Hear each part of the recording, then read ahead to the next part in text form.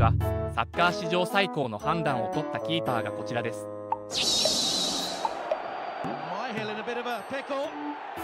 俺はこういう選手は嫌いじゃない。損切りができるやつは賢いと思う。GK 経験者だからわかる。パスコースがないのよ。一瞬でリスクヘッジした判断を指示したい。こうなってしまった時ニコの判断ができるのがマジでクレバーだと思う。相当冷静でないとできないと思うこういう判断は重要このままだと1点取られるリスク高いからね。無理に出して失点するよりは全然いいよね。ナイス判断だと思う。これ以上もたつくとまずいタイミングで一番セーフティな選択がこれやんねん。素人目線フラッグより先に蹴り飛ばしてスローインからの方が与えるチャンス少ないと思うんだけどどうなんだ。